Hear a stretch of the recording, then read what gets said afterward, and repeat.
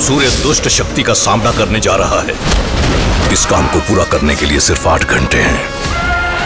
TV पर पहली बार, विरूपक्ष, आज रात आठ बजे, सिर्फ़ गोल्ड माइंस पर।